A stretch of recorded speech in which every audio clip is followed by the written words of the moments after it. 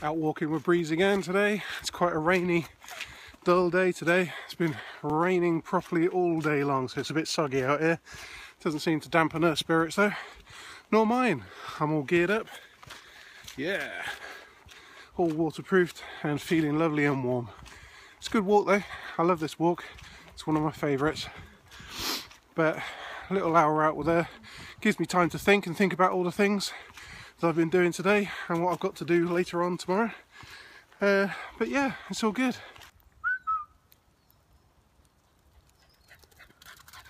Brilliant news the other day, well yesterday actually, that my dad went into uh, went into treatment for prostate cancer.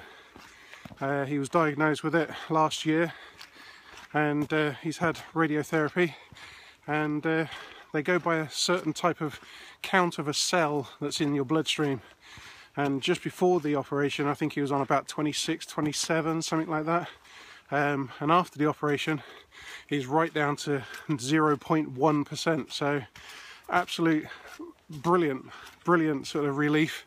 So, thank you very much. I'm so proud of both my mum and my dad for uh, being as calm and seeing it through just like it should be done not getting in any flaps or panics or anything like that. Absolutely love my family. Uh, so sort of level-headed, so kind and loving, and uh, oh yeah, I'm well pleased, well pleased with it all. Uh, so well done, Dad.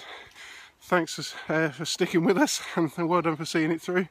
And uh, yeah, we'll come up and see you soon, and we'll do some cooking together. When walking around on my own with Breeze, she's often doing her thing, sniffing around. I often like listening to just the silence and also sort of just the noise of the trees and birds and things, which is cool. But often I listen to audiobooks. It's one great way of just walking with a dog. It keeps you out and about, keeps you occupied, and you learn stuff or you get taken away to those lovely fantasy lands. And at the moment, I'm listening to Game of Thrones.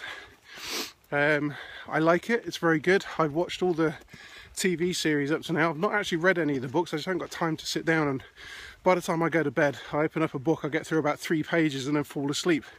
And I've usually got somebody snoring next to me, which is Lou. I'm sure she won't mind me saying that. Um, but audiobooks are fantastic. I was just wondering if any of you guys out there use audiobooks and if you have any that you would like to recommend for me to, uh, to have a listen to. Uh, that'd be really good. So leave a comment below or get in touch with us and just let us know which ones I should be listening to because my Game of Thrones is uh, catching up rapidly to the uh, the TV series, which is out soon. I can't wait. Can't wait to see what the next instalment brings.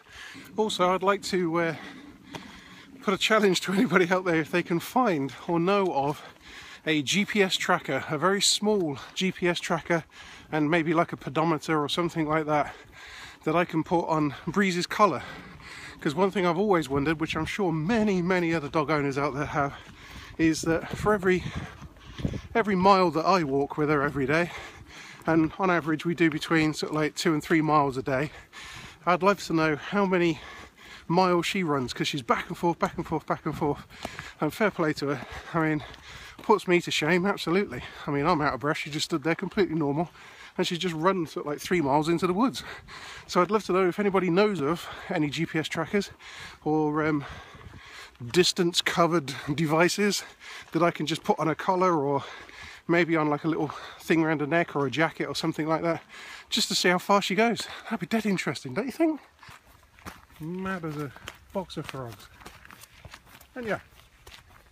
Hey, wait. Wait. Wait. Good girl. Okay, ready? Go back. Good girl.